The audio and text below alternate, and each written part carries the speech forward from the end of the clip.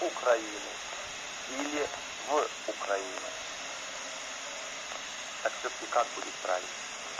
В крайнем фашине. Повторяю. Как будет правильно? В крайнем фашине. Весь мир забил хуй на Украину или в Украину?